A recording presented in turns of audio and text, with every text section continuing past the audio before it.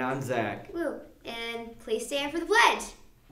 I pledge allegiance to the flag of the United States of America and to the republic for which it stands, one nation, under God, indivisible, with liberty and justice for all. Now let's stand for the Texas flag.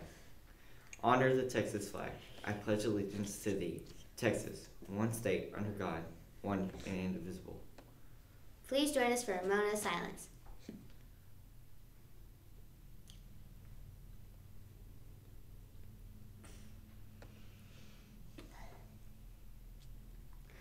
Today's weather will be partly cloudy with a high of 67 and a low of 44. No rain.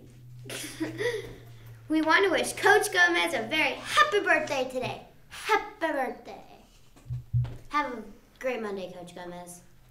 Come out and support your 7th and 8th grade choir at 6:30 tomorrow as they perform their pre-UIL concert. It will take place in the cafeteria.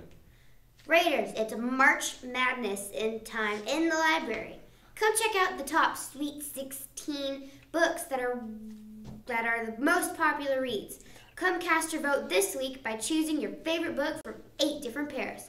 The next round will be when will be will then be the Elite Eight, and the following week will be the Final Four until we finally have our top winner for our favorite book in the library. Make your vote count and join us for some fun. That sounds fun. Yeet. Okay. NJHS members, make sure you attend this the meeting today until 4 p.m. Send any questions to Miss Till. Box, Box tops, box tops, bring more box tops, box tops, box tops, bring more box tops. Why are people trying to change that? It's good as it is. Okay.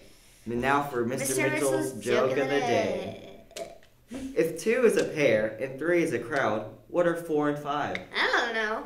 Nine. Oh, you did the math. I get it. Make it a, a marvelous, Marvelous Monday, Monday. Raiders.